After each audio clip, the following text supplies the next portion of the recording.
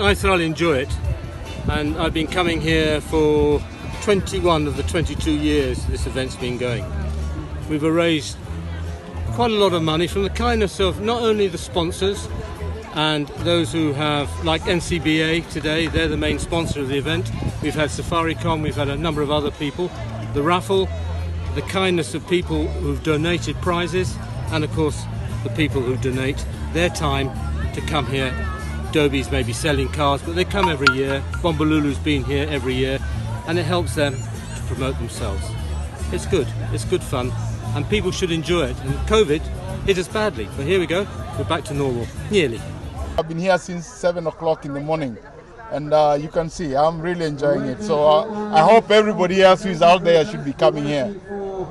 What are your future plans for tournaments like this? Oh, this, this, this event, we are going nowhere because we are here, we've been here 16 years, so we are not stopping now. We'll still be here to support uh, this uh, event. As you know, this event um, uh, raises a lot of funds to support a lot of charities.